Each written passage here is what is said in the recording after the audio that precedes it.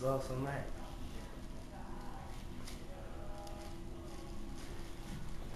Thanks bro. it's really really awesome man. Shit.